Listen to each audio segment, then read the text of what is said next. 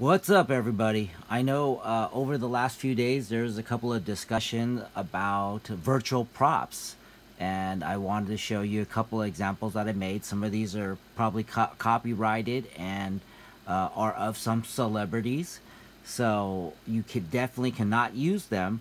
But I just want to let you know that the function is alive and well, and it's a lot easier than you think. And uh, I want you to check it out and uh, leave your comments below. So you, you're going to be able to start slideshow like anything else. We're going to do iPad only.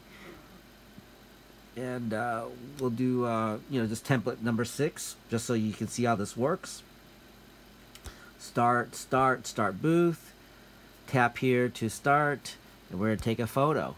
So you can see the props, they automatically come up. But what's what makes it really interesting or really fun is that you can do masks, you can do hats, you can do uh, facial features.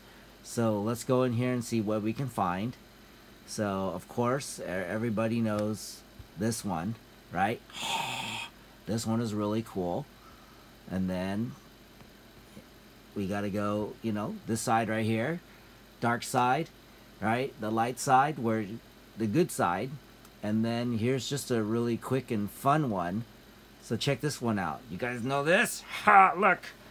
You can move away, it scales, you move closer, it gets bigger.